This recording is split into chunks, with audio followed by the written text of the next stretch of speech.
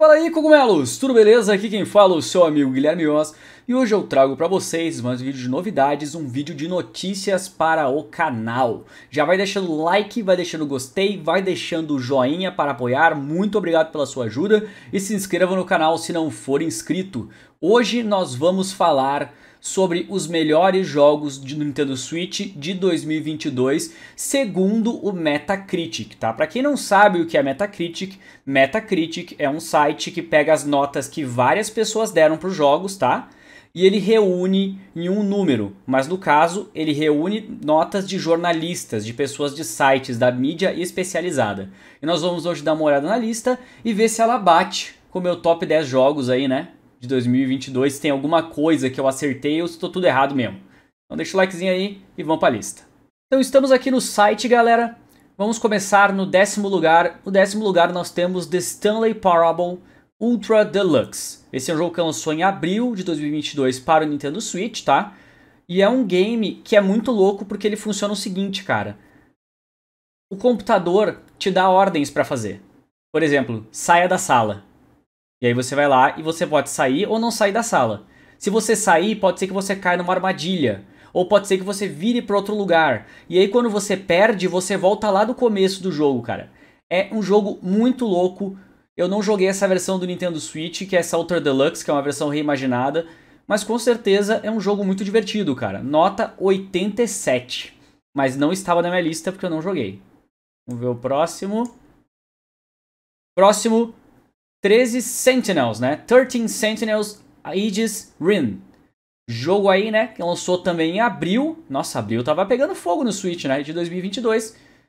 E basicamente, ele é um jogo que mistura estratégia com jogabilidade 2D, scrolling etc. É um game que eu ouvi falar bastante, mas eu acabei não jogando, cara. Mas todo mundo que jogou disse que é uma das melhores histórias que eles já tiveram em um videogame. E realmente a nota do jogo foi 88, né? Vamos ver o próximo da lista. O próximo da lista é Cuphead in the Delicious Last Course, junho de 2022, a DLC de Cuphead.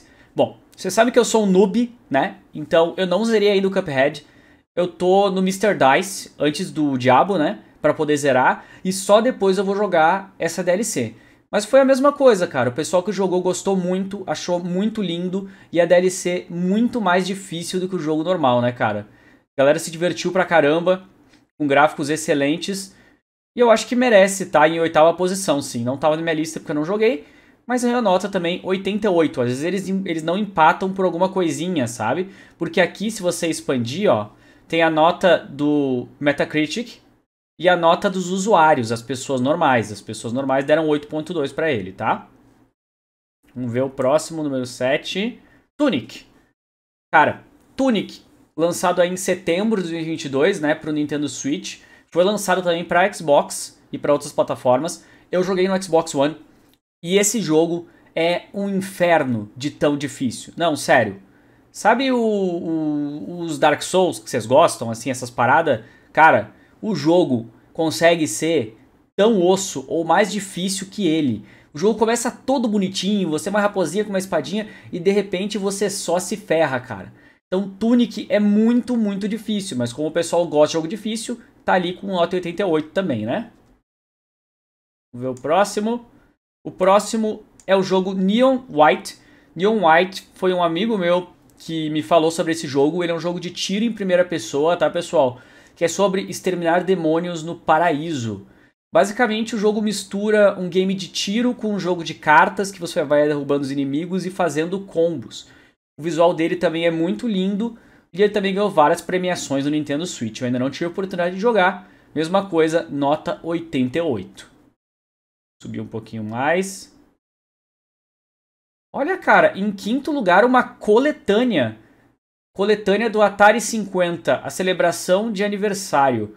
A celebração de aniversário, então, da companhia Atari, né, galera? Que fez aí vários jogos pela história. Fez, por exemplo, o Atari 2600, que era o videogame mais popular, né? Entre o pessoal velhão. Eu cheguei a jogar bastante ele. E eu acho que ganhou essa nota porque esse jogo, além de ter 90 jogos da Atari para você jogar nessa coletânea, tá? Tem documentário, entrevistas, imagens e coisas e tal. Mas eu realmente não achei que um jogo desse estaria ali. Vamos ver quanto é que o público deu de nota? 7.7. 89, 7.7. Tá bom. Vamos pro quarto lugar. Quarto lugar eu joguei sim. Nier Automata The End of Yora Edition.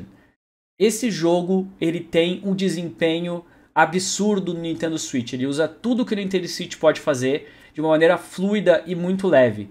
Não dá para descrever Nier Automata se você não jogar, cara, porque o jogo ele muda de tipo de jogabilidade e de história a cada novo estágio, a cada nova fase, velho. É um jogo muito louco, velho. É muito louco, mas é muito bom também e tem um replay quase infinito. Ganhou nota aí 89 e pelos usuários ganhou 6.9. Não sei porque o pessoal não gostou, velho. Mas realmente tá muito bom. Em terceiro lugar, o jogo que eu estou jogando no momento, né? Estou jogando no meu Nintendo Switch. Deixa eu subir um pouco aqui.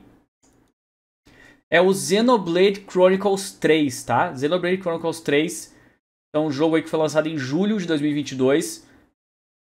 Esse jogo ele tem uma história bem emocionante em que o mundo todo está em guerra e que as pessoas nascem só para guerrear, sabe? Então ele tem até um lema, né, que é viver para lutar e lutar para viver. E é um jogo de RPG bem competente, cara. Um jogo longo, ele pode durar de 40 até 90, 100 horas. Tem gente que tem 200 horas nesse jogo para fazer tudo. E ele assusta pelo tamanho. Infelizmente ele tá só em inglês, mas ele é muito bom, cara. Ganhou nota 89 também. E os usuários deram 8.5. Em segundo lugar, nós temos aí Persona 5 Royal. Persona 5 Royal para Nintendo Switch, lançado aí em outubro de 2022, né? Há pouquinho tempo.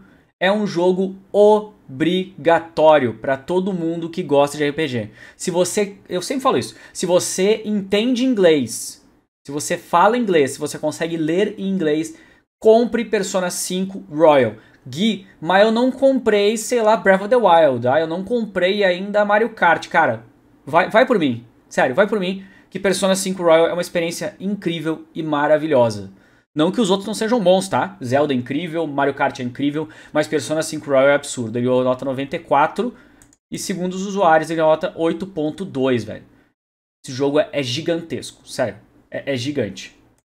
E por último, nós temos Portal Companion Collection, que é a coletânea do Portal 1 e Portal 2 para o Nintendo Switch. É um jogo que eu joguei esses dias, tá?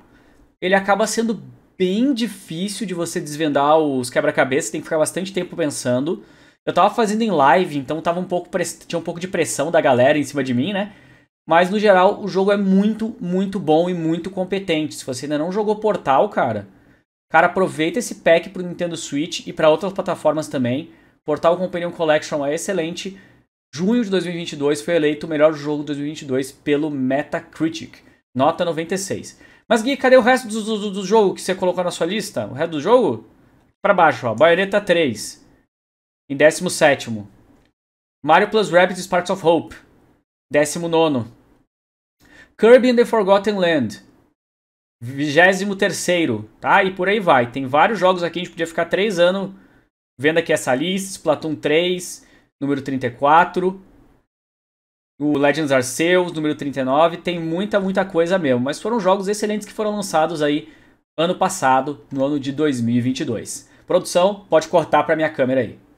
E esse foi meu vídeo, então, pessoal, falando dos 10 jogos mais importantes, né, mais bem avaliados pelo Metacritic em 2022. Espero que vocês tenham gostado desse vídeo. Coloquem aí nos comentários se vocês concordam com o Metacritic ou vocês acham que tem alguns jogos que estão ali que não merecem estar.